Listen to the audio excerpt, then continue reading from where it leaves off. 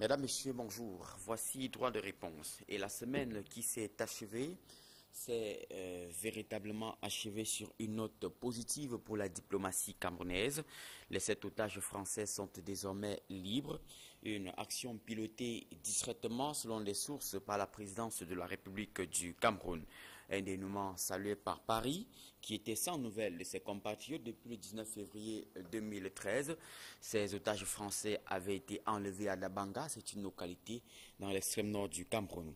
Cette nouvelle a donc dominé l'actualité locale en cette fin de semaine, euh, malgré des zones d'ombre et les conditions, les zones d'ombre notamment autour des conditions euh, d'obtention de cette libération. Information prégnante certes en cette fin de semaine, mais loin de disperser l'énergie dans la presse camerounaise autour d'une injonction du Conseil national de la communication portant restriction de la publication des tendances au sujet des sénatoriales et qui se sont déroulées la semaine dernière.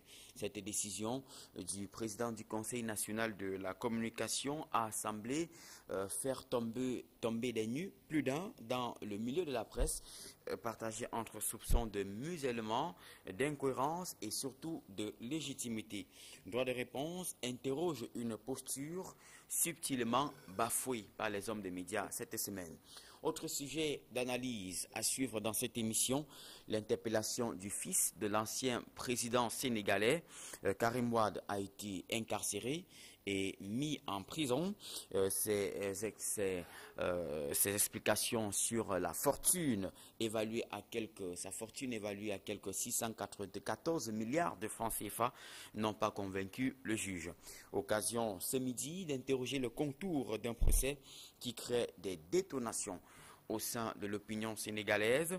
Si pour les uns, la Cour de répression de l'enrichissement illicite est un outil de correction des mœurs publiques dans ce pays, pour d'autres, Macky Sall semble régler ses comptes avec Abdoulaye Wade et affiche son autorité, une autorité suprême et surtout sa volonté euh, d'écarter un éventuel obstacle nommé Karim Wade sur son chemin en 2017.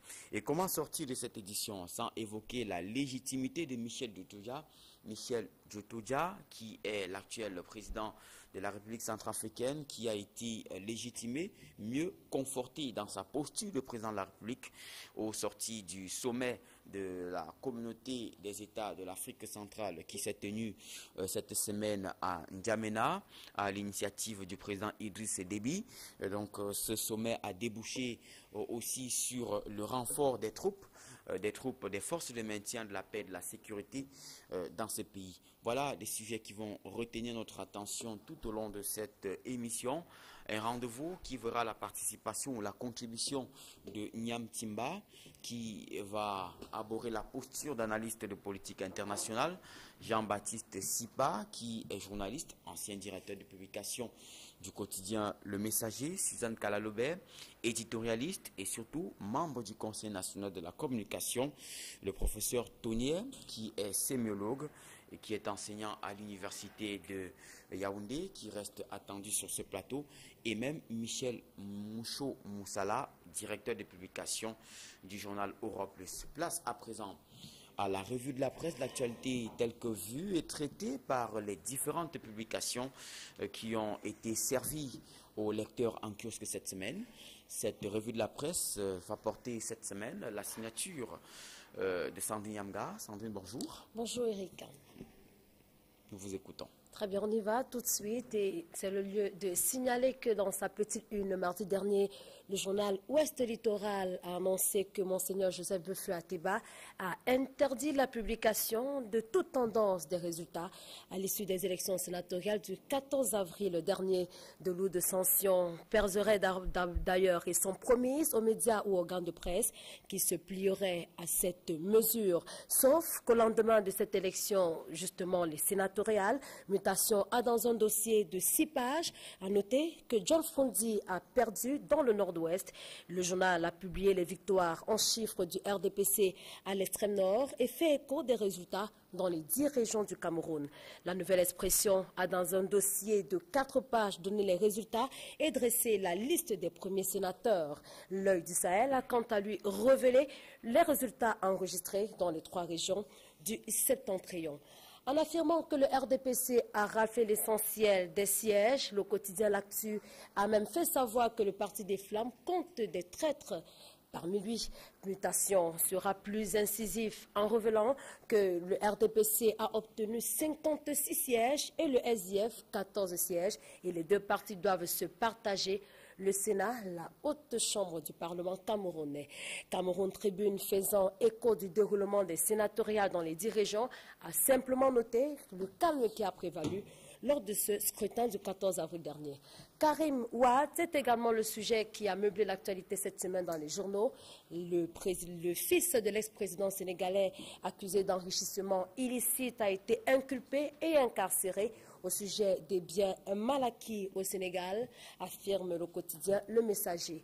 Le journal pense que c'est la descente aux enfers pour le fils de l'ancien président sénégalais qui risque jusqu'à 10 ans de prison et une amende pouvant aller jusqu'au double du montant de l'enrichissement illicite, estimé jusqu'ici à 694 milliards de francs CFA.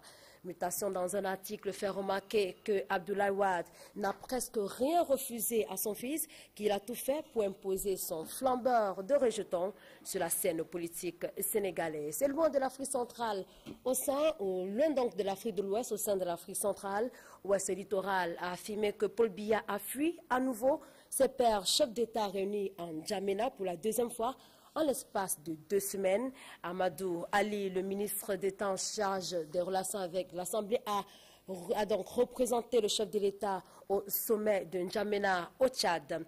Le chef d'État a ses assises donc de la CEAC au grand étonnement de Ouest Littoral et on ne va sans doute pas sortir de cette émission sans évoquer la libération des sept otages français. Et vous vous en doutez très bien, les journaux n'en ont pas fait écho cette semaine, simplement parce que l'annonce de la libération est intervenue vendredi dernier. C'est tout pour la revue de presse de ce dimanche.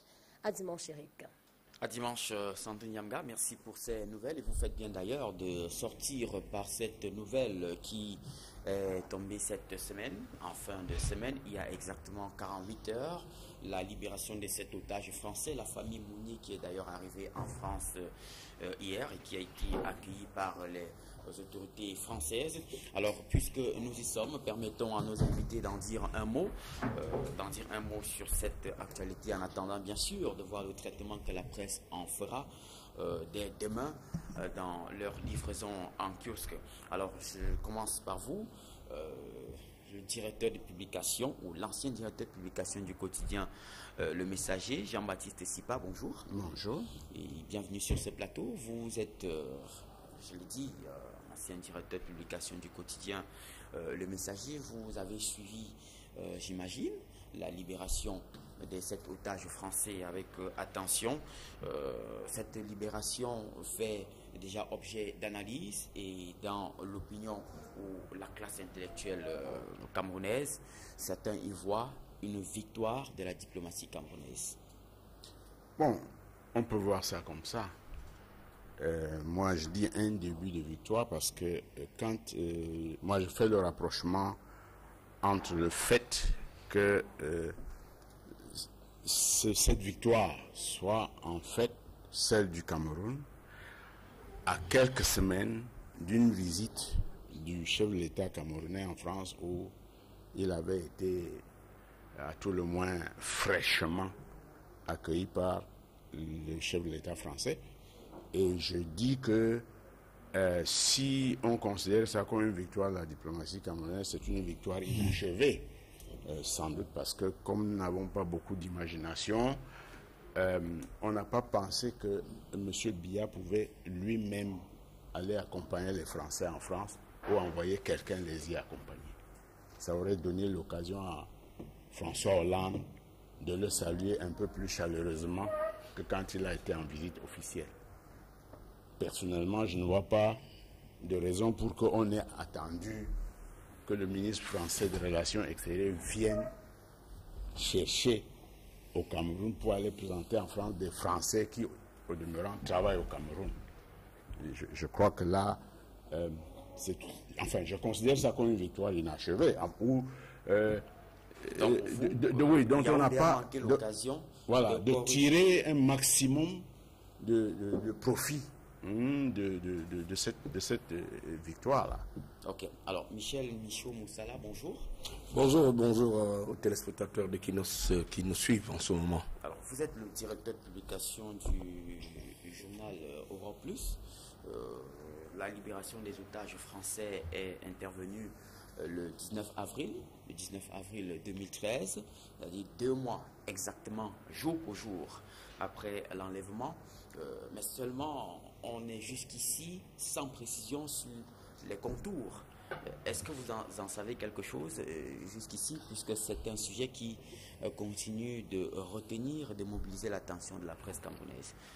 Bah, Écoutez, moi je pense tout simplement qu'à la lecture de ce que vous considérez comme étant une victoire de la diplomatie, aussi vrai que c'est des êtres humains, personne n'aurait souhaité que ces Français continuent à être pris en otage par qui que ce soit.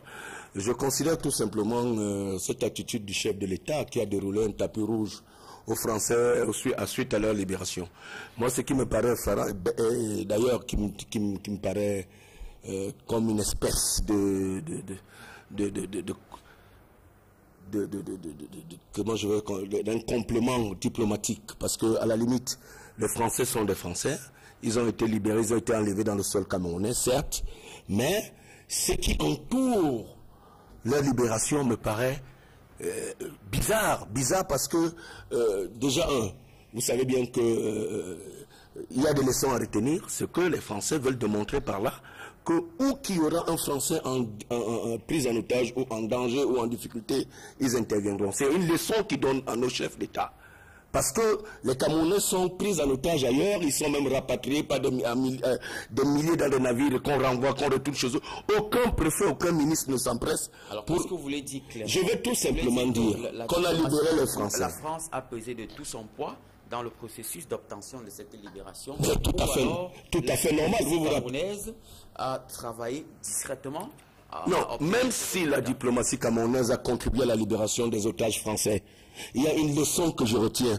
Le président, euh, l'ancien président français Sarkozy l'avait dit. Où qu'ils seront, j'irai les récupérer. Même dans le plus profond, même si les Français viennent poser des actes comme le cas du Tchad, il avait déclaré, ceci, ça veut dire que l'être humain, le Français est au centre de la préoccupation politique, diplomatique et sociale de la France. C'est tout à fait le contraire. Mais qu'est-ce qui explique que moi je n'ai pas vu le chef de l'État se soucier des gens de, l'entreprise Gandour qui a perdu 800 employés, qui a brûlé l'usine. J'ai même eu de la peine à croire qu'il y a un responsable du ministère du Travail qui s'est rendu. Cette attention particulière, embrasser les Français au palais, pendant que des hommes perdent des milliers de marchés ici, ces familles ont besoin d'être reçues par, des Français, par le président de la République. Moi, je dis, d'abord, un, il y a eu tellement de... Tous les services secrets français se sont mobilisés. J'ai eu l'occasion d'être au nord j'ai constaté que les, VDH euh, français, pas moins d'une quarantaine, d'ailleurs même, j'ai été quelque part euh, avant-hier où, dans un milieu français, on célébrait cette libération. Mais, je dis qu'ici, nous ne pouvions pas, personne n'était dans le secret de Dieu pour savoir tout ce qui s'est passé, tout ce qui, peut, tout ce qui a concouru à ce que euh, on libère ces Français. Et, toujours est-il que, est-ce qu'il y a eu échange des prisonniers comme ils en, exigeaient? Est-ce que l'argent a circulé? C'est autant de choses que je me pose bien des questions. Alors ce sont, ce sont des pistes d'enquête euh, dont nous espérons avoir, euh, en savoir un peu plus dès, demain.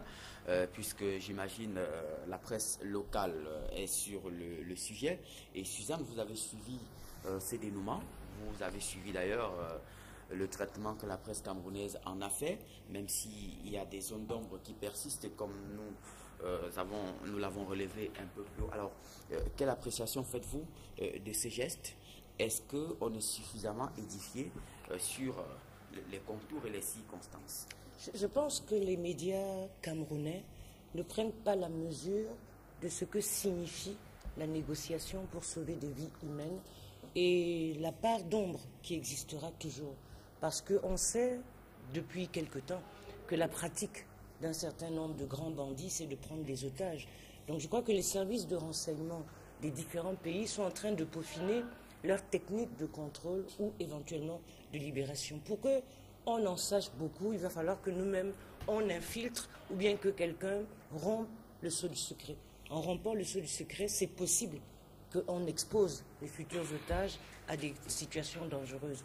Je crois que le journalisme, c'est aussi euh, une épreuve de responsabilité et pas simplement la recherche euh, tout, totalement de scoop ou, de sensationnalisme. Et je voudrais revenir sur l'appréciation que Jean-Baptiste Sipa faisait et puis Moussa sur euh, euh victoire ou pas de la diplomatie camerounaise ou encore pourquoi est-ce que Paul Biya n'a pas accompagné les otages français en France. Je crois que euh, cet événement traduit un certain nombre de relations sur le plan géopolitique mais surtout la position du gouvernement français par rapport à sa propre opinion. Et cette prise d'otage et la manière dont ils se sont mobilisés permet au gouvernement de Hollande, qui est secoué euh, par un certain nombre de scandales, par une certaine baisse de popularité, de jouer un rôle de père sauveteur. Donc la France ne pouvait même pas permettre à ce que les otages soient acheminés par les Camerounais, parce que c'est leur leurs compatriotes et qu'ils ont besoin, eux, de jouer ce rôle-là sur le sol français. Et je ne crois pas que le Cameroun doit disputer à la France de jouer ce rôle. Chacun, dans ce jeu, avait sa place. Le rôle du Cameroun, dans la mesure où ces Français étaient au Cameroun, c'est de montrer qu'ils sont disposés à coopérer avec les services secrets nigérians où les otages étaient gardés et avec les services secrets français dont les otages ont la nationalité pour contribuer à une libération. Je ne crois pas que ce qui compte aujourd'hui, c'est de crier Cocorico ou bien Alléluia, Amen. C'est de se mettre en tête que nous sommes en face d'une nouvelle donne auquel les États vont devoir faire face et où la nature des informations ne sera pas complètement livrée. Il ne faut pas s'attendre à ce que demain, on vous dise voici ce qu'ont été les conditions de négociation. Moi, j'ai lu beaucoup de livres sur ces questions-là. Et ce que j'en retiens, c'est que donner les conditions, les révéler, ça peut mettre en danger ou affiner les méthodes de ceux qui passent leur temps à séquestrer les autres. la question, la question que j'allais, euh, je vais vous adresser, euh, Timba, vous qui avez la posture d'analyste de politique internationale sur ce plateau, déjà bonjour.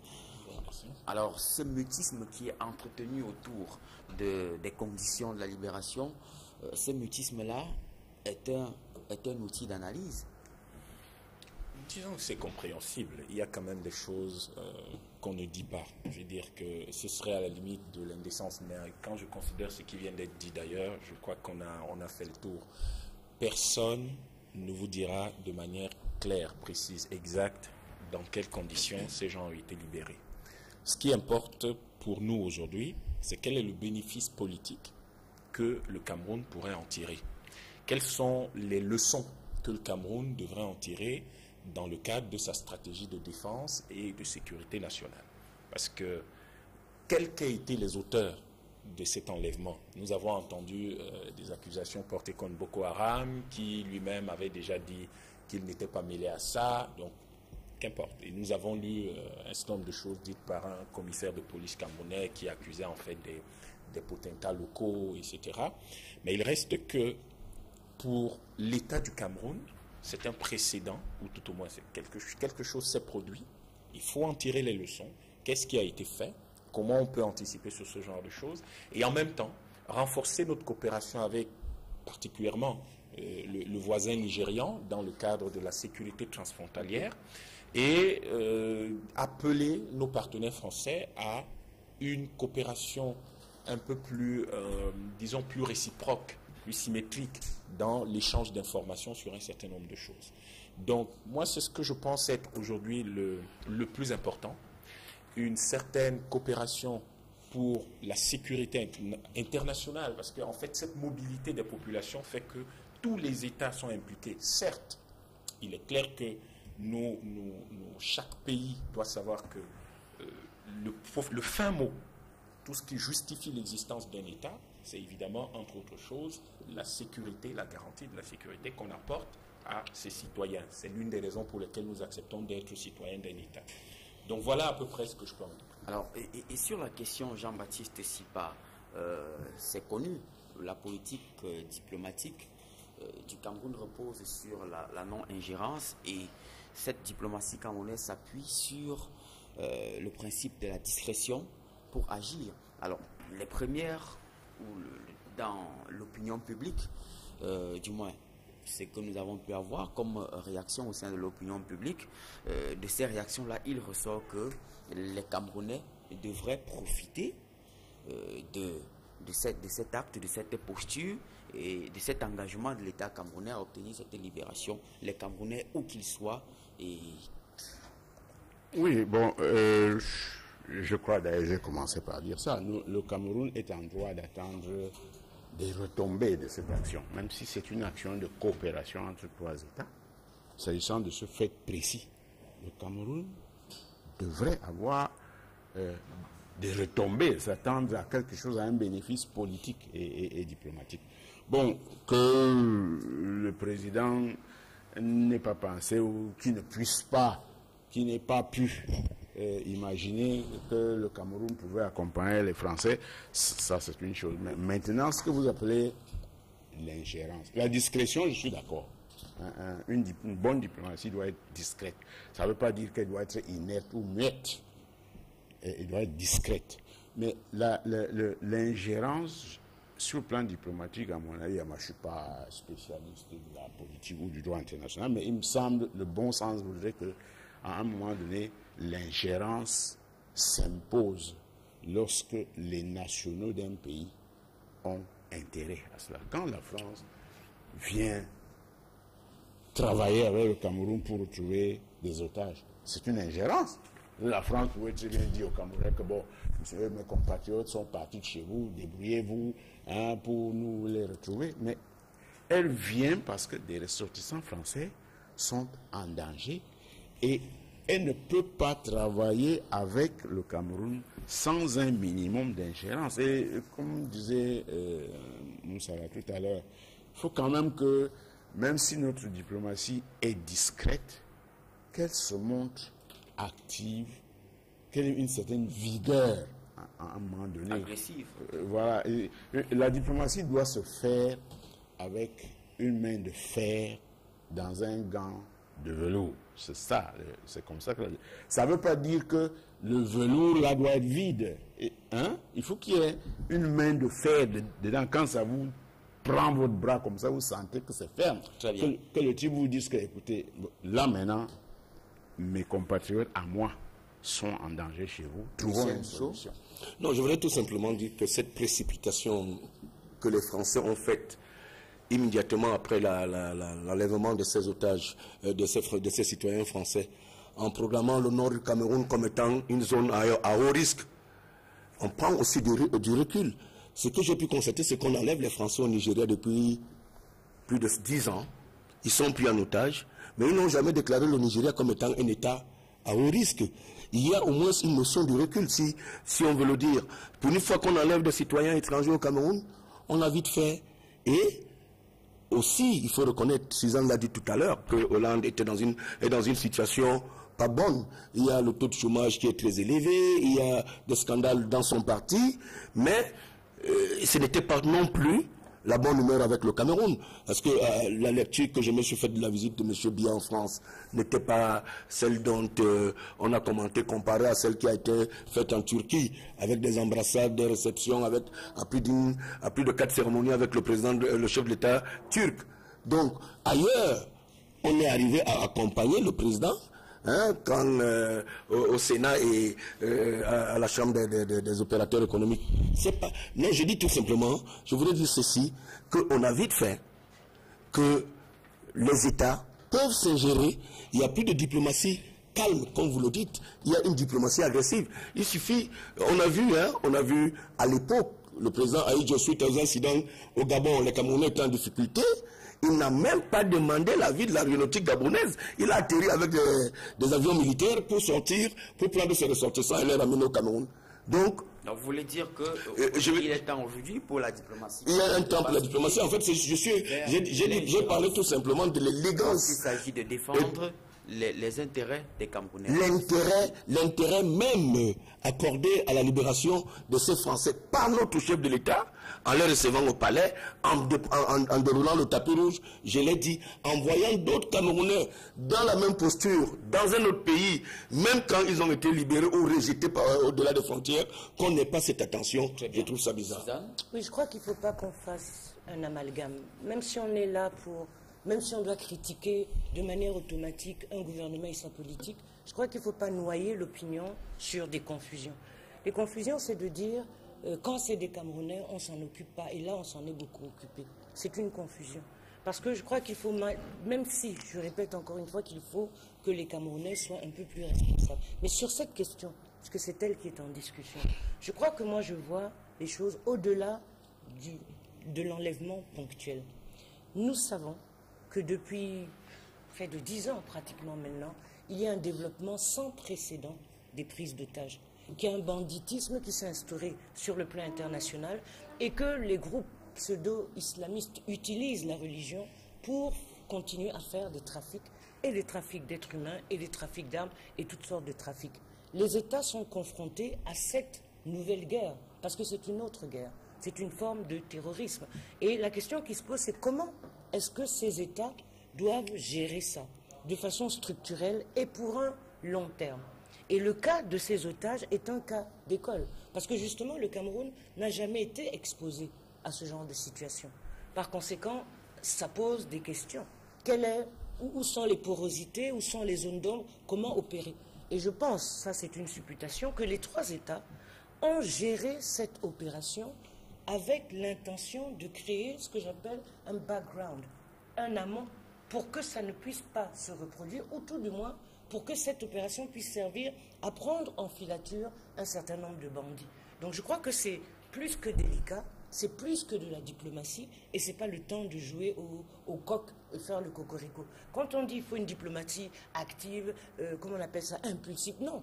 La diplomatie, ce n'est ni impulsif, ni doux, ni rien. C'est dans le contexte d'une situation qu'on sait comment agir. On ne peut pas décider a priori qu'il faut qu'on fonce ou que l'on ne fonce pas. Dans ce contexte-là, qu'est-ce qu'il fallait faire? C'est ce qu'il faut répondre. Et d'un point de vue diplomatique, c'est conjoncturel. Dans d'autres contextes, comment est-ce qu'il faut faire? Dans ce contexte, quel est le poids qu'avait le Cameroun pour résoudre? Est-ce qu'un seul de ces pays pouvait faire cette opération seul? Non. Comment devait-il le faire? Dans la manière dont... Les Américains n'ont pas attendu. Juste, juste un, mot. Je, je, crois que quelquefois, il, est bon quand, quand, quelque chose de bien s'est passé. Les critiques qui sont adressées au gouvernement sont légitimes.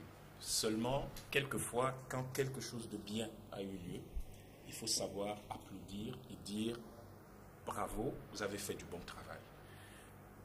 Il n'y a personne, personne n'est parfait nous pourrons toujours, et c'est pour cela la vie d'ailleurs, travailler à améliorer notre État. Mais pour le moment, et c'est moi la chose qui m'étonne le plus, pendant que les Français justement célèbrent la libération de leurs otages au Cameroun, les Camerounais ne font rien pour dire Ah, bravo nos forces de défense, bravo notre diplomatie. Commençons par le leur dire. Ils ont quand même fait quelque chose. Ils sont quand même parvenus à un résultat. Et ça, c'est ce que nous gagnons aussi. Tout à l'heure, euh, M. Sipa parlait du bénéfice politique qu'on aurait pu tirer de ce genre de choses.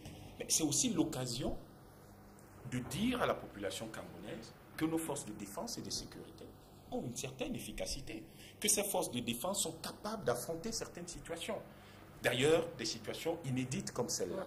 C'est aussi l'occasion de dire que notre diplomatie, dans sa manière que nous ne comprenons pas toujours, peut quand même arriver à des résultats qui sont extraordinaires. Je me souviens bien du problème de Bakassi il y a eu un million de débats qui disaient l'attitude du Cameroun n'était pas bonne.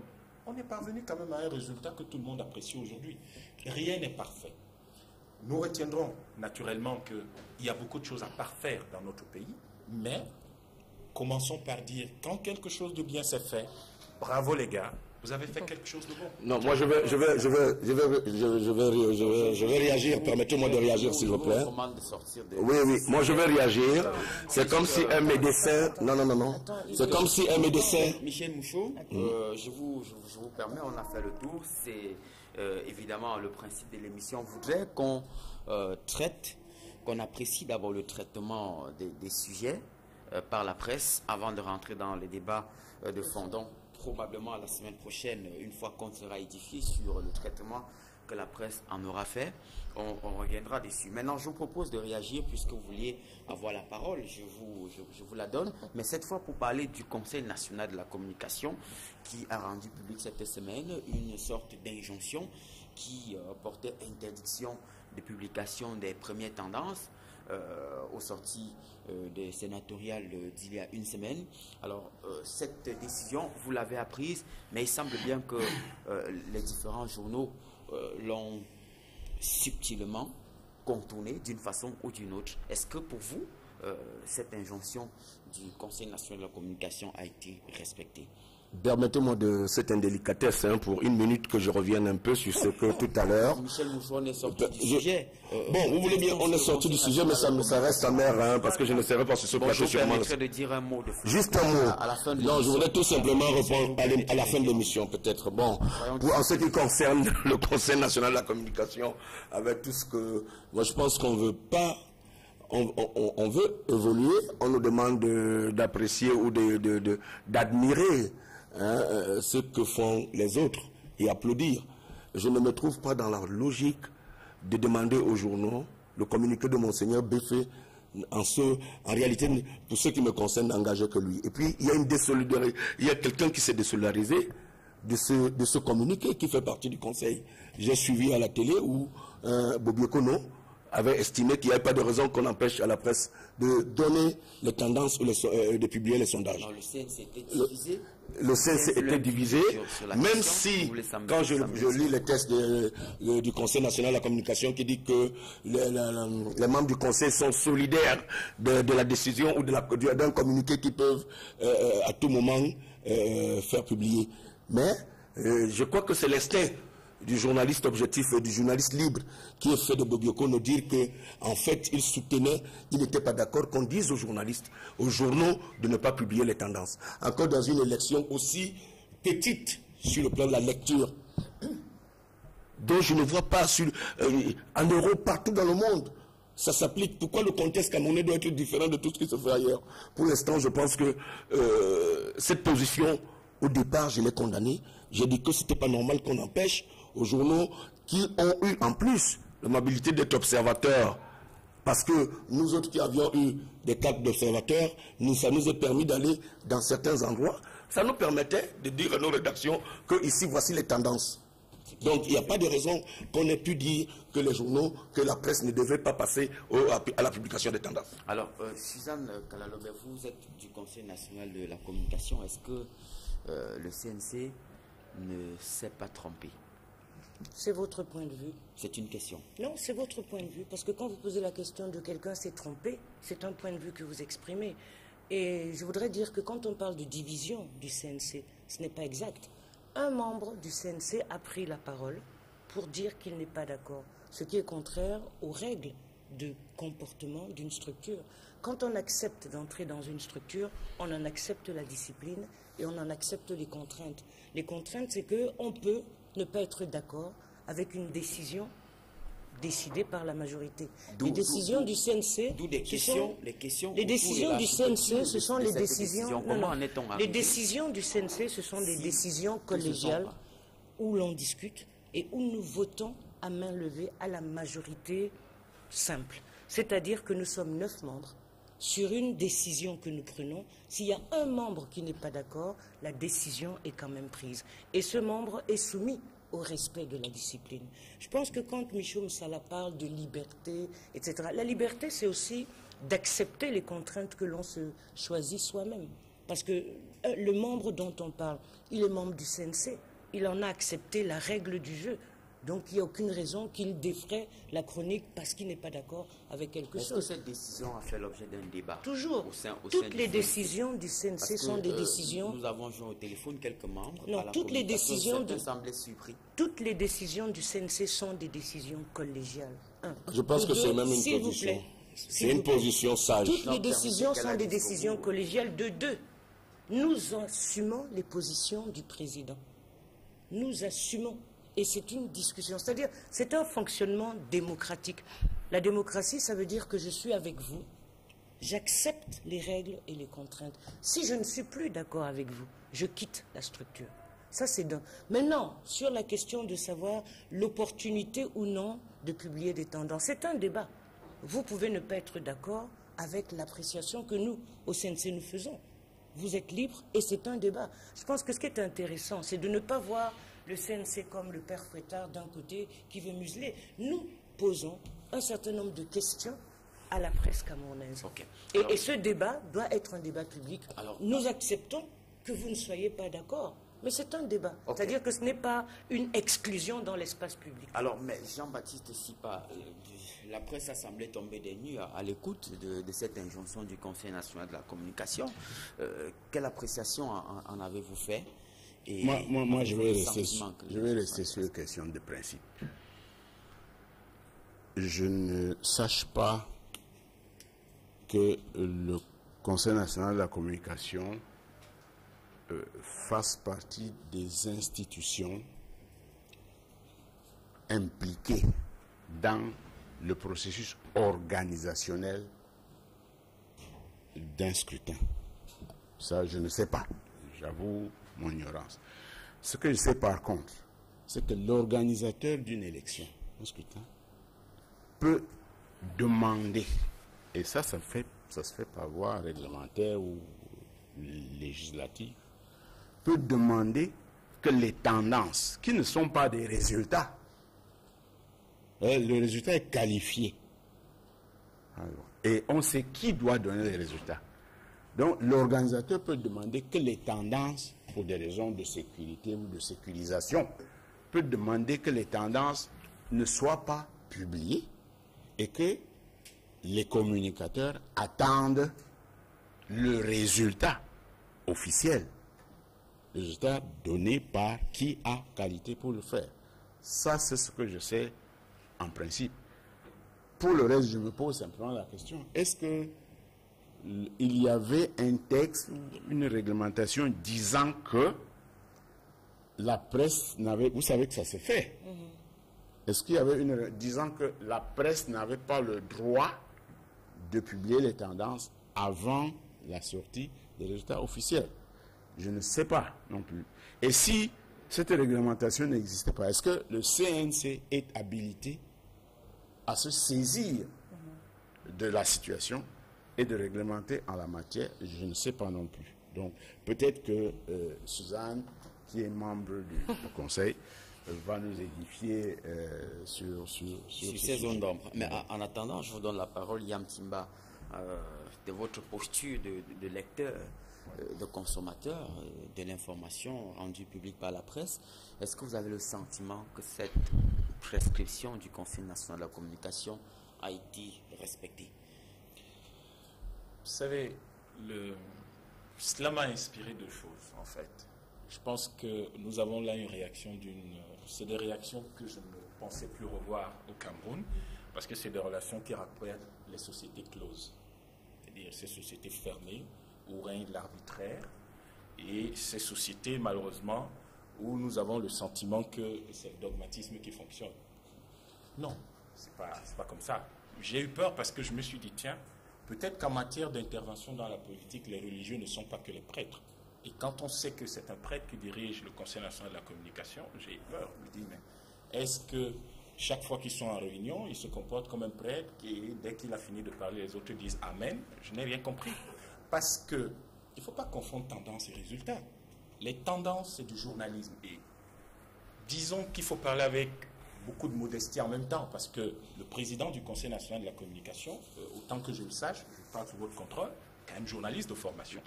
Donc ce n'est pas, ce n'est pas un bleu qui parle. Ce n'est pas, quand on parle quand même de ces choses-là, on, on, a en face un professionnel.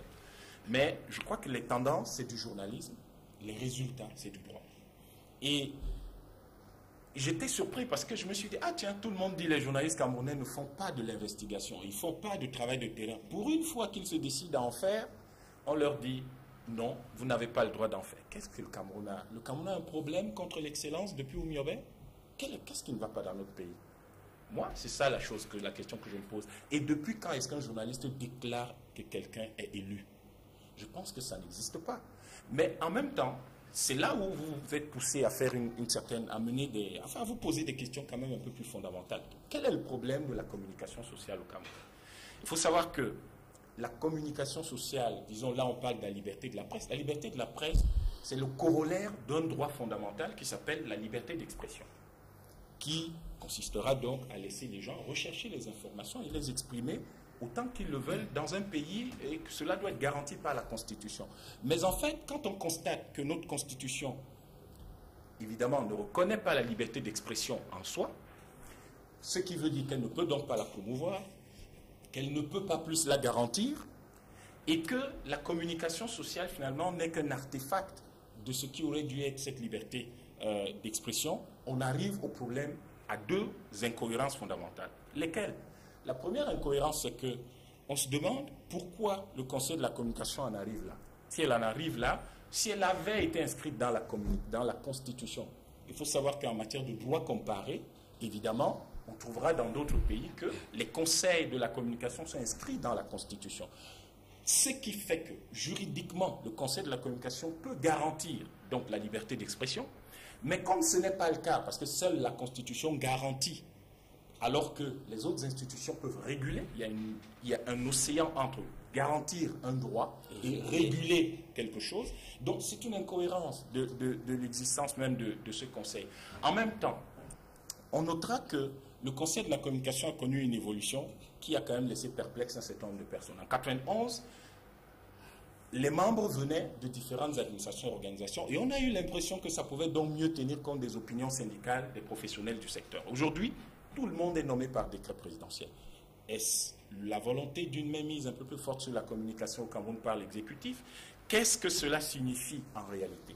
Au bout du compte, on arrive à un problème sérieux qui est que on finit par se demander Allons voir le code électoral. Allons voir le code électoral. C'est un exposé. Non, mais je, je, vais chuter. Je chute rapidement. Quand même. Je chute rapidement. Je crois que certains ont fait le développement un peu plus on dit, on rapidement. Donc, je chute On dit quand même des choses qui ne tiennent pas. 30 secondes. Donnez-moi 30 secondes, je chute. À la fin, on va voir le code électoral. Je n'ai vu nulle part dans le code électoral une disposition, une disposition qui, interdit la, publication des tendances. Il est par contre clairement stipulé qui publie les résultats. Donc au bout du compte, beaucoup parmi nous dans la société, nous avons eu des sueurs froides. Très bien. dit, c'est dangereux. Ok, alors, Suzanne non, Sans que vous me posiez de questions, je voudrais répondre à ce qu'il a dit. Parce qu'il y a trois choses que je trouve dangereuses. La première chose, c'est c'est quoi la liberté d'expression? C'est-à-dire, est-ce que la liberté d'expression, c'est dire ce que je veux, quand je veux, comme je veux et à tout moment? C'est cette confusion qui est dangereuse.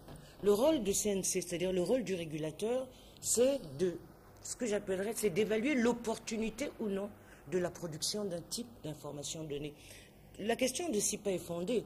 La question, SIPA demande si le CNC a, disons, les prérogatives qu'il faut pour demander à ce qu'il n'y ait pas publication des tendances Je dis oui, quand on regarde l'ensemble des attributions de cet organe de régulation, même s'il n'est pas constitutionnel. Maintenant, l'opportunité de publier des tendances au cours de cette élection était laquelle? Il est possible que le CNC ait une autre appréciation que celle des journalistes qui sont sur le terrain.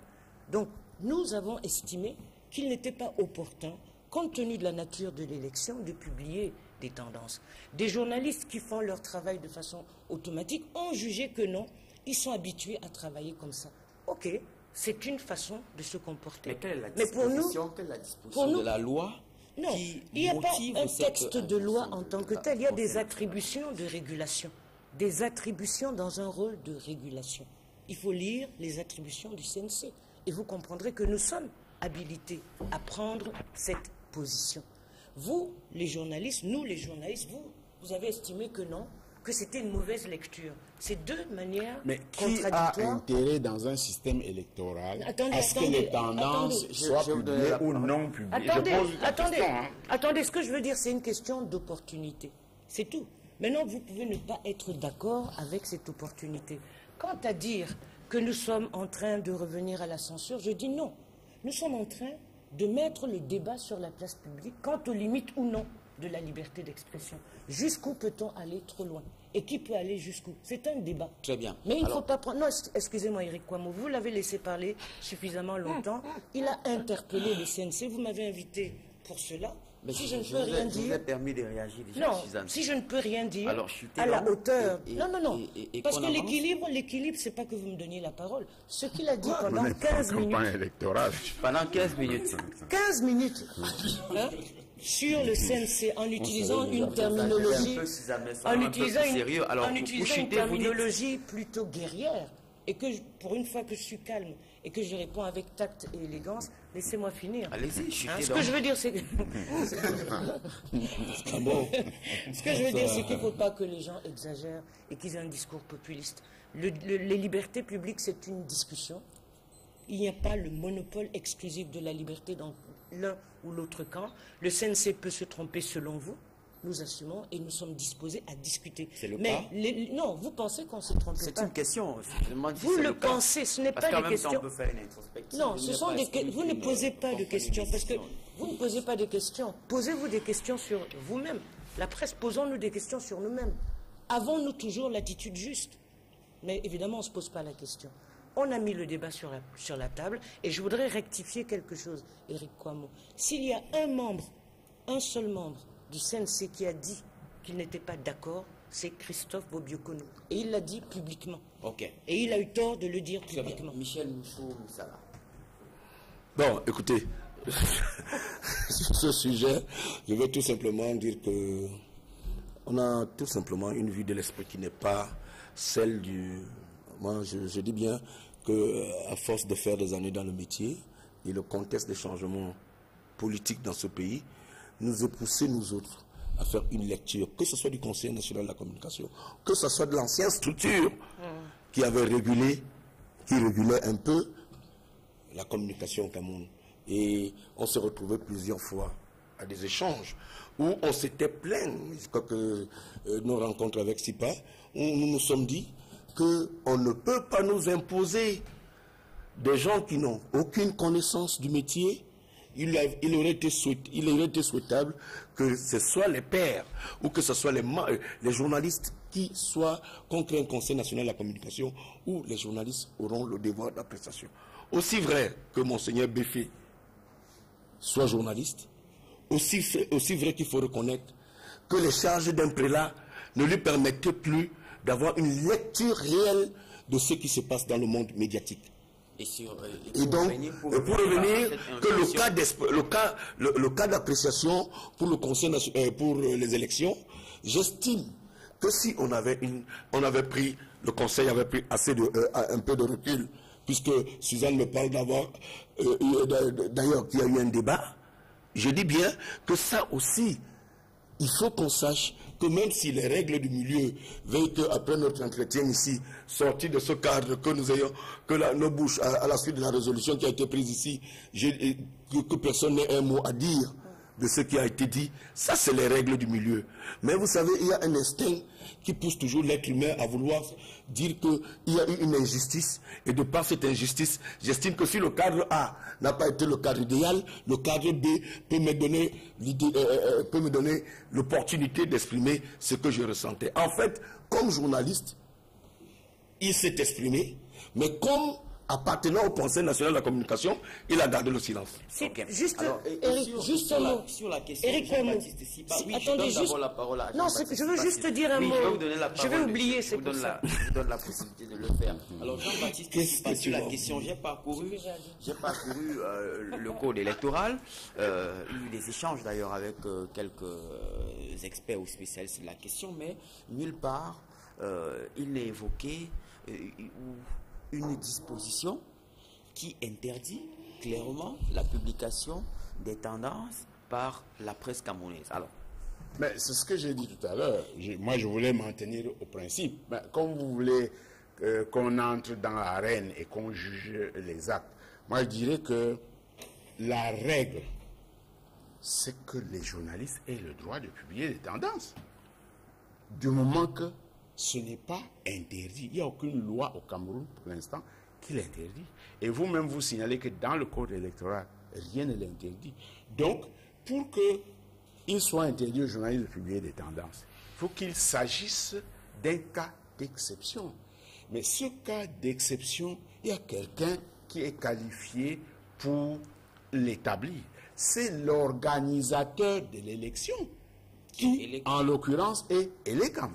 C'est pas autre chose. Et à la limite, Elecam peut euh, déléguer euh, ses, inquiétudes hein, euh, sur ses problèmes au MINAC qui a les moyens de, trouver des, solutions aux questions de sécurité ou de sécurisation.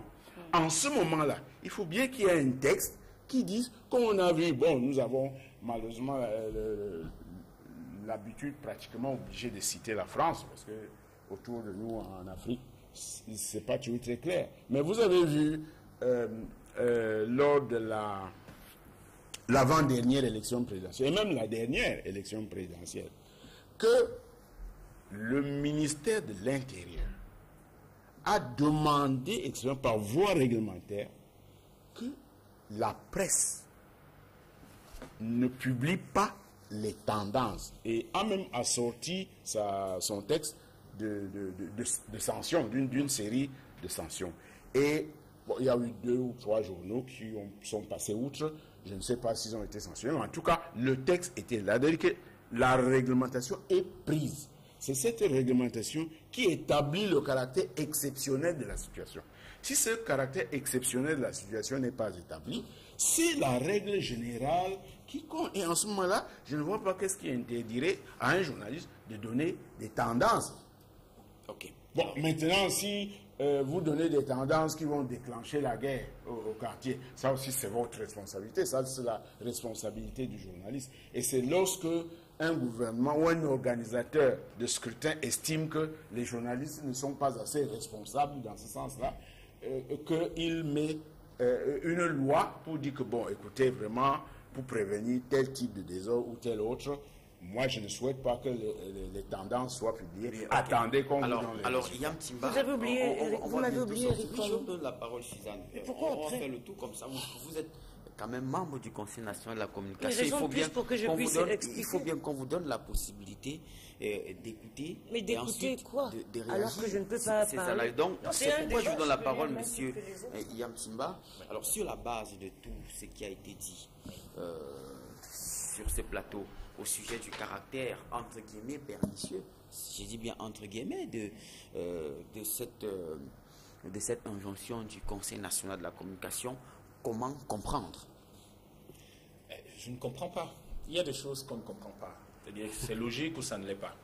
Vous, vous ne pouvez pas, euh, dans un pays qui, qui cherche sa voie sur le plan de son organisation politique, créer en même temps ce genre de choses. Mais je retiendrai, parce qu'en même temps, quand euh, euh, nous avons la chance d'avoir un membre du Conseil national de la communication sur le plateau, Mme Kalalobé, quand elle dit que c'est un débat mis sur la place publique, ils, ont discuté entre eux. Aujourd'hui, ils souhaiteraient recueillir les points de vue des uns et des autres pour que nous puissions nous y prendre au mieux tous ensemble. Parce qu'il faut qu'on s'entende bien. Ce n'est pas, il ne s'agit pas de jeter l'anathème sur le Conseil national de la communication ce n'est pas le problème du seul Conseil national de la communication, c'est le problème de nous tous. Comment nous nous assurons, euh, comment nous assurons la paix dans notre pays? Il faut que ce soit clair. Il ne faut pas croire qu'on est là pour couper les têtes des membres du Conseil national de la communication. Mais, alors, et dans ce cas, si c'est un débat, ce que nous leur disons, c'est qu'ils auraient été certainement bien avisés de se dire que les attributions qui sont les leurs, beaucoup de gens les connaissent, il ne dit nulle part qu'ils ont le, droit ou le pouvoir d'apprécier. Pouvoir surtout. Le, oui, enfin, je peux faire mêler les deux en même temps. Parce que, alors, ils n'ont pas le, ni le droit ni le pouvoir d'apprécier la paix dans le pays. On leur demande de contribuer à un certain nombre de choses. Ok. Mais pas d'apprécier la paix. Il y a d'autres institutions. Non, je, je, voudrais, je voudrais revenir sur le fond du rôle d'une instance de régulation. L'instance de régulation, en réalité, n'est prisonnière d'aucune contingence. Elle peut se tromper, mais elle n'est prisonnière d'aucune contingence. Elle prend en compte l'ensemble des paramètres et elle donne sa position.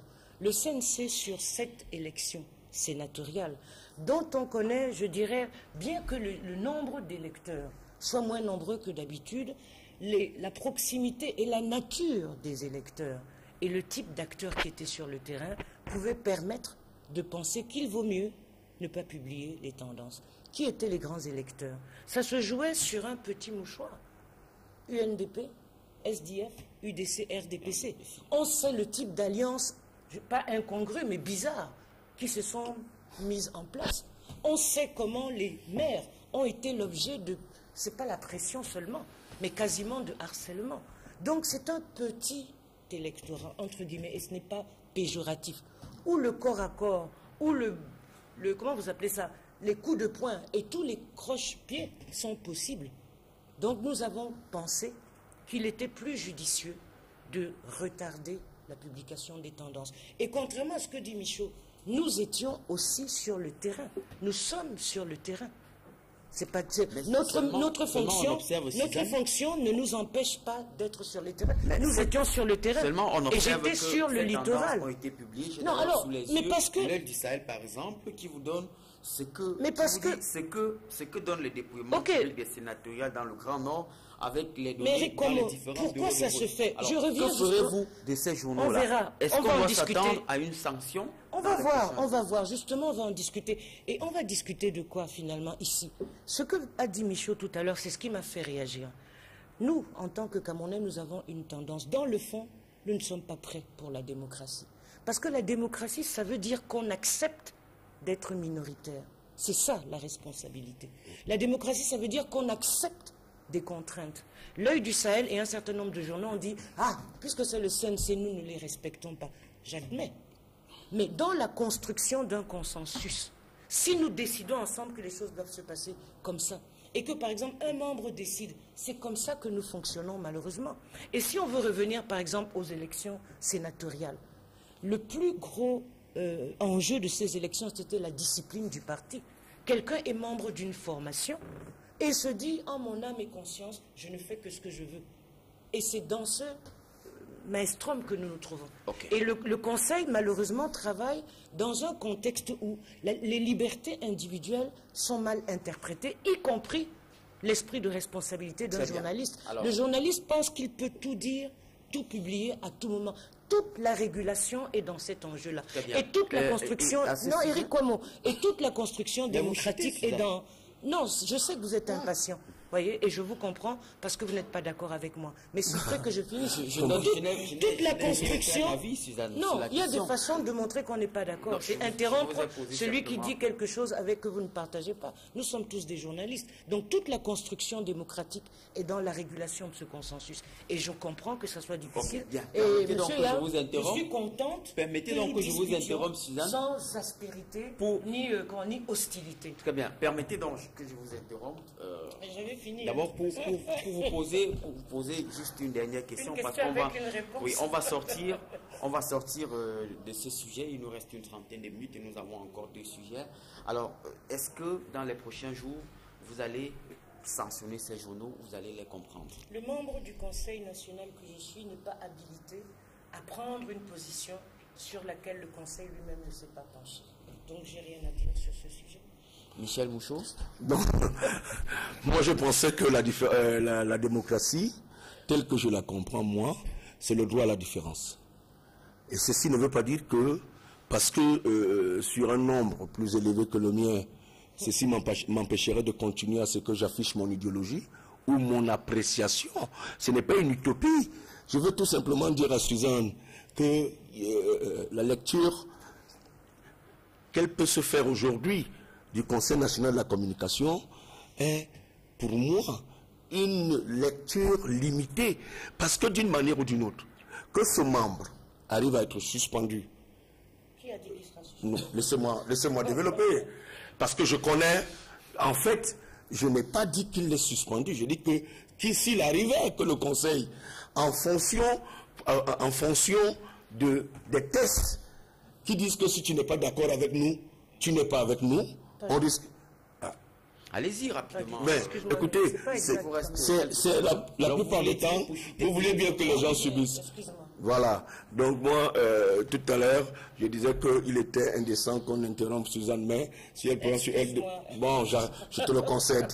Donc je disais que le Conseil national de la communication, je suis convaincu que les débats qui vont se faire vont toujours avoir des voix qui ne s'accorderont pas du tout sur un certain nombre de choses. Parce que ce n'est pas un conseil qui s'ouvre à d'autres experts, qui prennent les avis et les opinions euh, d'autres experts. Ok, alors finalement, est-ce que oui, sur la base de ces éléments, on pourrait dire que sur la question, le, le Conseil Assemblée évolue en rang dispersé? Bon, je ne sais pas. Moi, je ne juge pas du fonctionnement Non, non, non, interne rang du. Conseil. Une personne. Ce que je dis, c'est que si j'a- j'avais un- j'avais été encore directeur de publication, il est clair que j'aurais laissé publier les tendances dans mon C'est clair. Ça, c'est clair. C'est pas grave. Parce que je répète ceci. Que le régulateur intervienne pour interdire les tendances ne peuvent résulter que d'une situation d'exception. La règle générale est que les tendances soient publiées aussi longtemps qu'une loi ne l'interdira pas de manière formelle. La deuxième chose que je voudrais dire, c'est que même quand on est une instance de régulation, les décisions que l'on prend ont un but.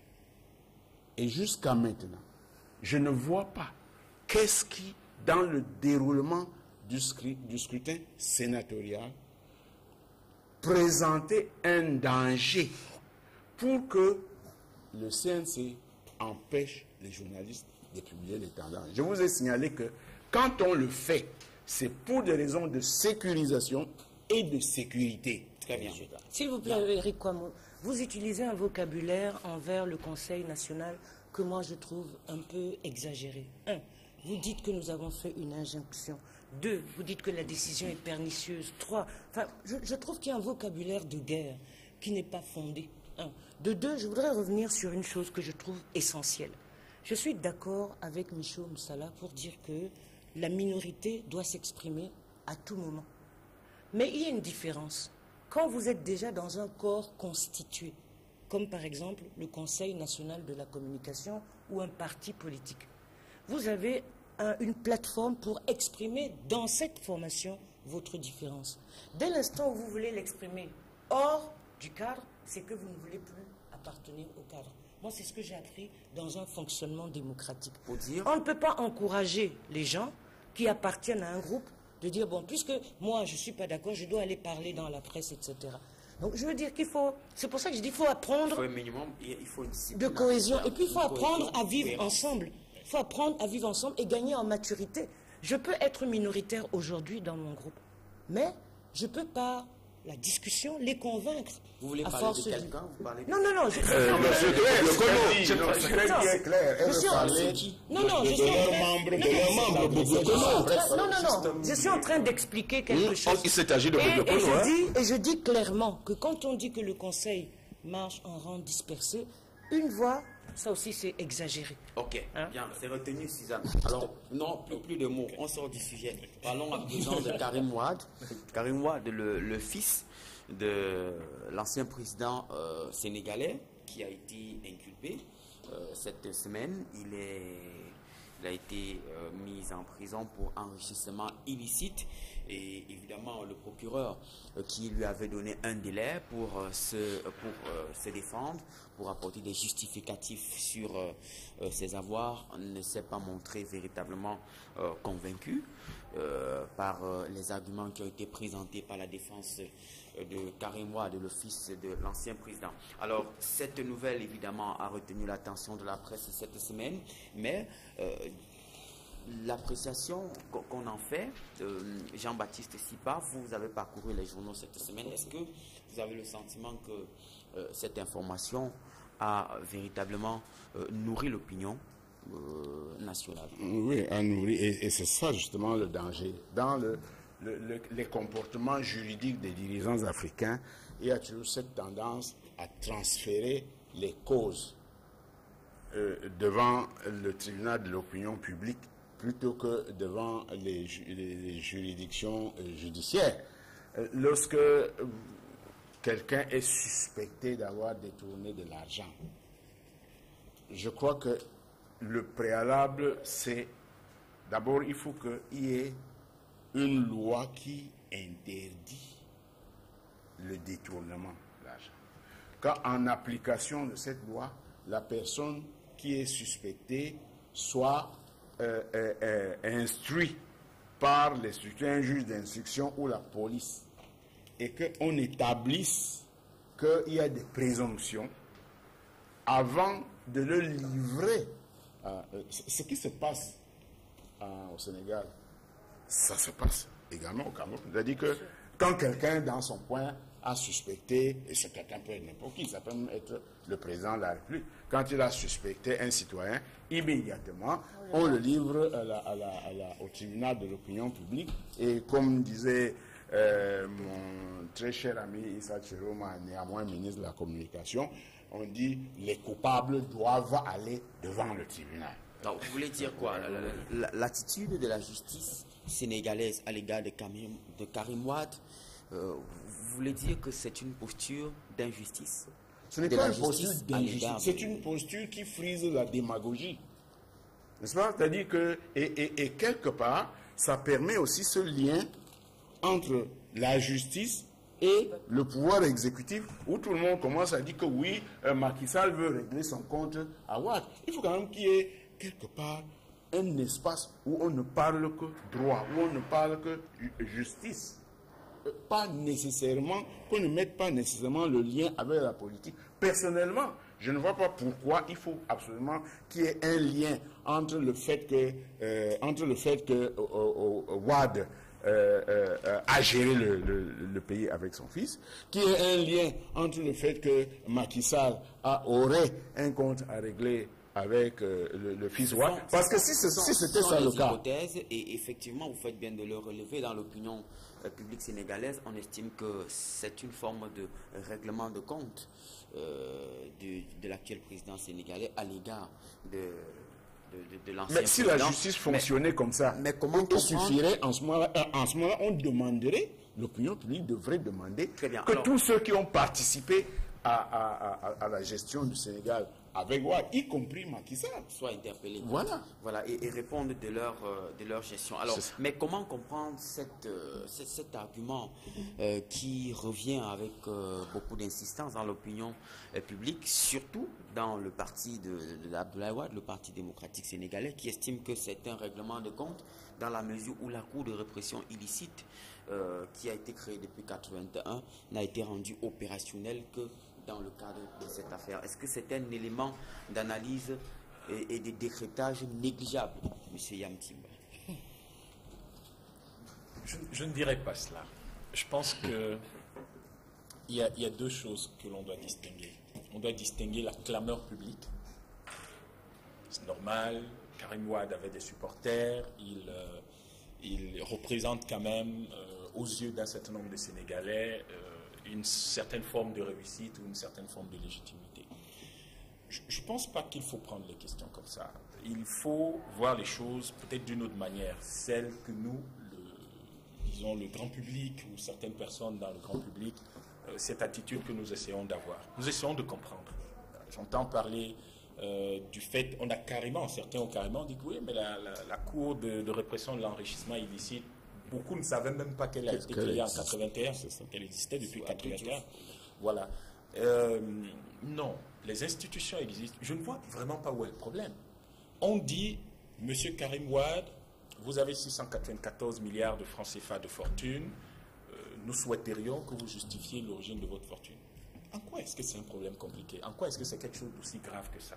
Si Monsieur Karim Ouad est un businessman, qui d'ailleurs, avant qu'il ne, ne rejoigne son père dans la dans la gestion du Sénégal. On sait quand même que ce monsieur était un consultant euh, très très important dans des cabinets très importants à travers le monde.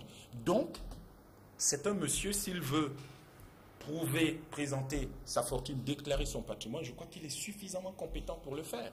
Maintenant, si cela n'est pas fait, et j'ai pu avoir un certain nombre d'éléments, si on en a le temps, je prendrai, vous me permettez peut-être de prendre deux minutes plus tard pour, pour, voilà, vous apporter mon éclairage. Mais je préfère m'arrêter là sur ce sujet. D'accord. Alors, si euh, Karim Ouad a eu le temps, effectivement, de, de il en a la carrue, il en a d'ailleurs la, possibilité de se construire euh, et de se faire une fortune.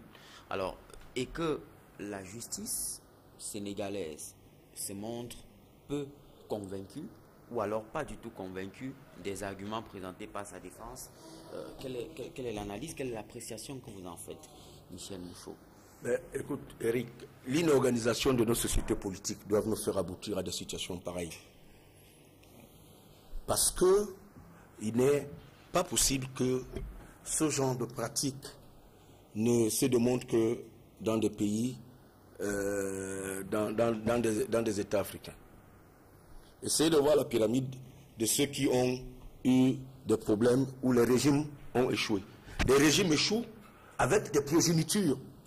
Le père est arrêté, toute la progéniture est en prison. Toute la famille. Alors, il faut contourner ce qui arrive à Caribe n'est pas un fait nouveau.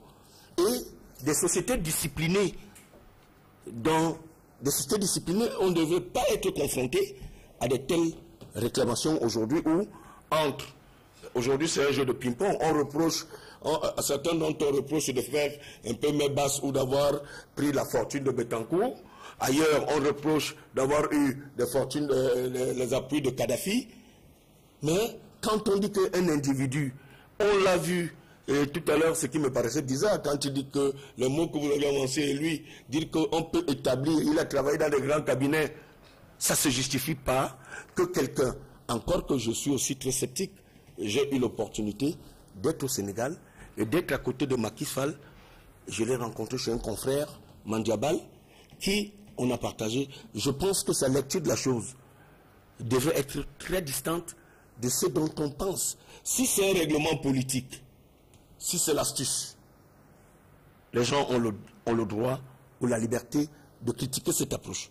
Si c'est une réalité, qu'on se retrouve avec un fils qu'on appelait le ministre du Dieu et, du ciel et de la terre, au vu et au su de tout le monde, j'étais, je, je pense qu'il faut faire, il faut apprendre, il faudrait pas que nos États deviennent des États répressifs dans l'innocence.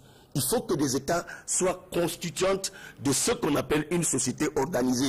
Et c'est ça que nous faisions tous les jours dans la presse, que nous passons le temps à attirer l'attention des politiques pour dire qu'il faut faire attention. Un, enfant, euh, euh, euh, Karim était ministre de quatre départements ministériels. Macky était Premier ministre. Donc, aujourd'hui, qu'ils en reviennent, si on commence par le père, par le fils, il n'est pas exclu que demain, que ce soit le père. Que ce soit le père. Ok, Suzanne. Oui, moi, moi je crois que ce genre de sujet donne l'opportunité au petit peuple de se venger des grands. Parce que, euh, brusquement, Karim Ouad n'est plus un citoyen à part entière qui a droit, comme n'importe quel citoyen, à la présomption d'innocence et à toutes les précautions qu'il faut avant toute condamnation on le livre à la vindicte populaire et on donne une somme astronomique, 694 milliards, dans un continent délabré où personne ne sait s'il peut avoir même deux feuilles, comme on dit vulgairement, pour pouvoir manger demain. Donc tout le psychodrame est mis en place pour que demain, si on décide d'oxyre, parce qu'il faut utiliser ce terme, ce fils de président arrogant, le peuple soit enfin content. Mais, mais, c'est là où le rôle des journalistes n'est pas dans ce sensationnalisme-là. Parce que je vois la une du mutation Karim Ouad arrêté. Le fils de l'ancien président de la République est accusé d'enrichissement illicite. Le messager, le fils de Ouad inculpé, incarcéré. Bref, il n'est plus citoyen, il est le fils de Ouad. D'où le glissement. Le glissement que l'on peut euh, faire en se disant que toutes ces opérations, en fin de règne ou début de règne, quand des gens d'une même technostructure Macky Sall, le président actuel du Sénégal, est un des membres fondateurs du PDS, premier ministre de Abdoulaye Wade. Donc, si ce type s'est enrichi, ce n'est pas d'hier que ça date. Ce sont des vieux mécanismes, des anciens succès, comme on dit. C'est une ancienne accumulation. Les deux camps peuvent prouver l'un comme l'autre si c'est vrai ou faux. Le juge qui doit soi-disant vérifier, qui en très peu de temps a décidé que ces documents ne lui paraissent pas sérieux, il a travaillé avec quel sérieux? Bref, les gens ont le droit de penser qu'on n'a pas affaire à un feuilleton judiciaire, mais un feuilleton politico-politicien. C'est ça. Et c'est clair, parce que les- les avocats de Wad ont bien amené tous les documents. Ils n'ont pas pris le temps de les éplucher. Il a simplement dit qu'il n'est pas convaincu. Mais est-ce que c'est son intime conviction qui décide? Bref, ça se passe comme Il chez nous. il il est juge. procureur, exactement. il n'y a pas de plaidoyer, pas de réquisitoire. Il dit qu'il n'est pas convaincu. Et il est en prison et tout le monde d'applaudir parce que c'est le fils de Wad. Moi, c'est ça qui m'écœure un peu. Je n'ai pas, je, je veux dire, je connais bien la, la nomenclatura sénégalaise. Macky Sall, comme euh, Abdoulaye, Abdoulaye Wade, comme Karim Wade, comme sa sœur, comme tout ce monde-là. Mais nous sommes, nous sommes en fait en politique, mais pas en justice. Ce que, ce que je pense, euh, je voudrais faire une mise au point. Quand je disais qu'il a travaillé dans de grands cabinets, c'était simplement pour dire que s'il est possible de faire un travail technique de reconstitution de sa fortune, il en a les compétences. Ce n'était pas pour justifier qu'il soit riche. C'était pas ça. Qu'il, que ce n'est pas le fait qu'il ait travaillé là où j'évoquais que, euh, qui justifiait qu'il ait 694 millions. Personne ne le sait en tout cas pour le moment. Le problème de- je crois qu'il y a un problème technique. Et quand on revient aux aspects techniques de certains dossiers, on comprend mieux l'attitude des uns et des autres. Oublions la clameur publique. Oublions les, les, les, les conflits politiques éventuels, le lynchage politique. Et j'apprécie, j'apprécie effectivement le, le fait qu'on puisse en parler. Mais techniquement, quel est le dossier qu'on a? Le dossier qu'on a, c'est que, évidemment, ce que j'ai pu trouver comme, comme élément, Monsieur Karim Wad clame son innocence en disant Bah, les entreprises dont on dit que je suis actionnaire, mais mon nom ne s'y trouve même pas. C'est enfantin. C'est-à-dire que quand vous êtes dans le milieu de l'analyse financière, l'effet contraire de ce qu'il quand vous êtes dans les milieux de l'analyse financière, vous trouvez ça parfaitement enfantin. Parce que je peux être actionnaire dans une dizaine, dans toutes les entreprises du Cameroun, vous ne verrez mon nom nulle part. Ce sont des techniques Deuxième élément. de montage financier. Oui, mais ça, c'est un jugement de Ça, valeur. ça, c'est un jugement de valeur. C'est des préalables. Nous ne sommes pas dans une approche profonde, on n'est pas dans une approche profonde. dans- Laissez-moi finir. Je n'ai dans- personne. on n'est pas dans des tests. Non, on n'est pas dans des expositions. On est dans le Ça, c'est pas un-. Non, je veux tout simplement qu'ils comprennent que dans un contexte comme celui-ci, on ne peut pas rentrer Je vous dans permets de réagir à son analyse dans euh, un instant. vous plaît, Permettez je qu'il y n'interromps jusqu'au bout. Allez-y, monsieur. L'heure, nous parlions de démocratie.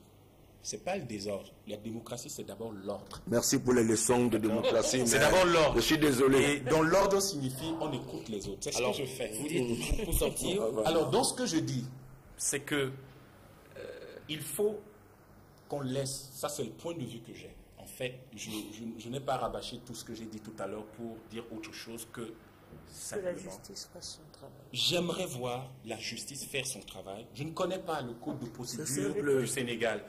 Il a été arrêté, je ne comprends pas pourquoi, mais probablement les magistrats avaient le droit de l'arrêter. Mais pour le moment, est-ce que Karim Wad est coupable? Est-ce qu'il ne l'est pas? Nous en sommes à un stade où il est présumé innocent. Qu'on laisse la justice qu'il faut faire son parler. travail. Travail Et, et ce que j'entends beaucoup de gens déplorer, j'espère que ce n'est pas le cas au Sénégal, j'espère vivement qu'il n'y a pas de pression politique particulière sur lui.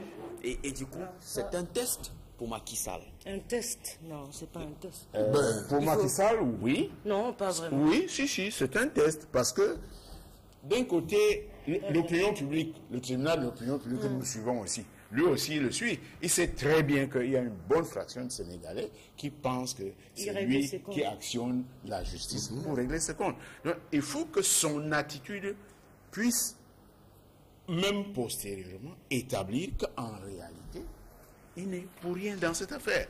Et, et je voudrais en profiter pour dire que au Cameroun, il y a une opération que nous avons baptisée épervier parce qu'en fait, ça n'a jamais eu de nom. Et c'est la presse qui l'a baptisée comme ça. Et où on a, eu on a les mêmes accusations vis-à-vis des dirigeants qui poursuivent les, les suspects. Les anciens Qui- voilà, ou des, des anciens Camarades. camarades, membres du système. membres anciens ou actuels du système. Alors, mais, mais le, le pro- le problème de fond, le problème de fond est toujours le même. Et là, je reviens vraiment au sérieux, comme disait quelqu'un, du, du- du système dirigeant africain. Lorsque vous avez mis un système en place pour gouverner, qui est géré par des hommes, la première chose, c'est de penser que ces hommes ne sont que des hommes. Et que ces hommes, s'ils n'ont pas une dimension éthique solide, même la loi même une déontologie, quand il en a, comme chez nous les journalistes, ne peut pas empêcher cette tendance humaine naturelle de s'exprimer lorsque l'occasion leur est donnée. Très bien. Ah, Et, et quand vous nommez, on vous, Vous nomme, citez on vous donne la, po- la po- La la- la possibilité d'avoir des caisses avec des milliards dont vous pouvez faire ce que vous voulez. Ok. Voilà. Bien, on, on l'a compris, Jean-Baptiste. Pas pour sortir du sujet en un mot. Oui, non, d'abord, c'est pas humain. C'est pas une tendance naturelle que de penser à voler. Je suis pas d'accord avec ça. Ce n'est pas naturel. pas ce que j'ai dit, Non, hein. je veux dire, c'est pas une tendance Mais c'est naturelle. une faiblesse Un. humaine. Non, ce n'est pas une tendance naturelle Deux. et ce n'est pas une faiblesse humaine. C'est une faute d'un individu qui n'a pas d'éthique. Ne faisons pas croire que nous tous, Mais ça, je l'ai exposés dit au même risque, on va Quand faire les mêmes choses. Non, ça dépend de chacun. Ça dépend de chacun et de son éthique. Ce n'est pas sujet, sûr euh, que vous. Eric Kwamo, si on vous donne 50 milliards, vous allez les prendre, même dans une famille. Chacun gère l'argent différemment et ce n'est pas naturel, on n'est pas avec. Sur cette question, moi je dis, j'enclin plus à penser à un règlement de compte parce que c'est comme ça que ces systèmes néolibéraux travaillent. Entre Macky Sall et Abdoulaye Wade, la, je veux dire, la différence sur le plan idéologique n'est pas grande. C'est le même parti. Ce sont les mêmes libéraux avec les mêmes orientations. Comment est-ce que dans ces systèmes, on élimine son ennemi? Dans tous les systèmes du monde, comme par hasard, c'est toujours des scandales financiers qui doivent éclabousser vos adversaires. Or, ces scandales financiers, quand ils arrivent opportunément, montrent que c'est une mécanique qui existe depuis fort longtemps et dans laquelle beaucoup de gens ont leurs dividendes. Donc cette affaire de Karim Wad et sans doute bien d'autres, pour moi, au-delà du fait que je suis d'accord que la justice fasse son travail, mais c'est clair que Macky, c'est Macky Sall, hein Macky Sall, Sall. Sall, Macky Je Sall. confonds, Ma- c'est c'est clair que Macky Sall, membre du PDS, développant une politique qui n'est pas fondamentalement différente de celle de Wad, essaye plutôt de savonner les planches sur, euh, les pieds, sur les pieds de ses adversaires. Comme on fait pour Sarkozy, comme on est en train de faire avec Hollande. On découvre brusquement qu'un des ministres de Hollande a, comment il appelle ça, des comptes à l'étranger. Ça fait partie des... Ah oui, et, et alors, c'est là où je vais chuter, je dis, je dis au peuple que, franchement, leur règlement de compte là, ça ne nous regarde pas. Ok. Ça ne nous regarde Michel pas. Mouchot. Non, je trouve qu'il n'y a pas de. Je ne vais pas, je, je vais pas m'avancer à dire comme Suzanne que c'est un règlement de compte. Quand on veut écarter ses ennemis politiques, on trouve une planche sur laquelle on peut, on peut pousser. Non, il faut rester lucide. Il faut chercher à savoir s'il y a quand même une part de vérité dans ce que fait Macky Sall. Pas Macky Sall, la justice sénégalaise. Donc, quand on a une, une- une réaction aussi active où tu dis que c'est un règlement de compte, je dis non, il faudrait Ouvre ça maintenant. 694 milliards. Bon, les chiffres peuvent avoir eu du retard. Il faut chercher à comprendre maintenant si ces chiffres ont ne serait-ce qu'une part De vérité. de vérité. Parce que ça peut être très colossal, c'est quand même un milliard d'euros, hein, plus d'un milliard d'euros, mais il y a quand même qu'on peut se demander. Et quand on sait qu'en Afrique, on est capable, ce qui est malheureux, c'est que le Sénégal n'est pas un pays aussi riche que la Libye, que les pays dans lesquels il y a du pétrole, il y a certaines richesses, qu'on en soit arrivé à me parler de 600 quelque chose de milliards. 194. C'est quand même, bon, quant au reste, il peut avoir peut-être 50 ou 200 milliards de vrai dans cette affaire, parce que j'ai vu, j'ai vu des- des- des- dans le contexte camerounais des gens qui sont poursuivis au départ. On vous parle de 70 milliards, pour qu'à la fin, on vous dit que non, c'est une affaire de 70 millions ou de 225 millions. Donc il faut faire, il faut prendre un peu du recul. Très bien. Alors, euh, Karim Wade euh, garde son statut, euh, garde sa présomption euh, d'innocence en attendant bien, bien sûr que Tout à fait. la justice sénégalaise fasse son travail. Et vous avez bien fait de dire, Suzanne, qu'on peut se tromper. Il me semble bien que je me suis trompé dans la gestion du temps, Pourquoi puisque je ne vous permettrai pas de dire un mot sur euh, le, le sommet de la communauté euh, des États de l'Afrique centrale qui s'est tenu à N'Djamena. Il faut bien le reconnaître. En tout cas, ce n'est que partie remise. J'aurais bien voulu avoir votre réaction sur euh, la légitimation de Michel Dochodia. Parce qu'il a été légitimé? Il voilà. n'était pas invité. J'ai- j'ai- Il n'était peut-être pas invité, mais. Il n'a pas été que de mon, de légitimé, mon point de vue, Oui. hein. ce n'est pas euh, c'est Tojoja. hein. Joe Todia. Joe Toja. C'est pas Joe Toja qui a été légitimé. Pas du tout. C'est un, c'est une structure. La transition. la C'est transition. une structure de transition. Ça, et je crois qu'il faut le dire. Souvent, nous, nous confondons les hommes et les institutions. Dans le cas précis, on peut enlever euh, votre Totoja là. hein, le- le- on peut l'enlever et mettre n'importe qui là-bas. C'est la structure que les chefs d'État. On ne peut déjà même, on ne peut même pas le légitimer. C'est d'autant plus que le chef d'État de C'est un mode, c'est un mode de c'est un mode règlement. de règlement.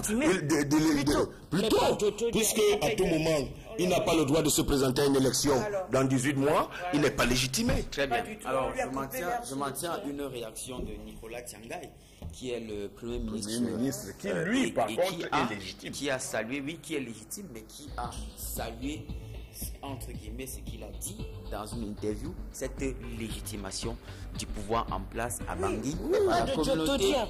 des États. Il dit bien légitimation du pouvoir en Alors, place, mais merci. pas de Jotodia. Merci d'être venu sur ce plateau, Dia, euh, madame Non, et messieurs. Joto Je vous souhaite Dia. de passer une excellente fin d'après-midi. Mesdames, messieurs, merci pour votre très aimable attention. Merci d'avoir suivi cette émission. Nous aurons le plaisir de vous retrouver dimanche lorsqu'il sera 12h. Excellente fin d'après-midi en compagnie de nos programmes.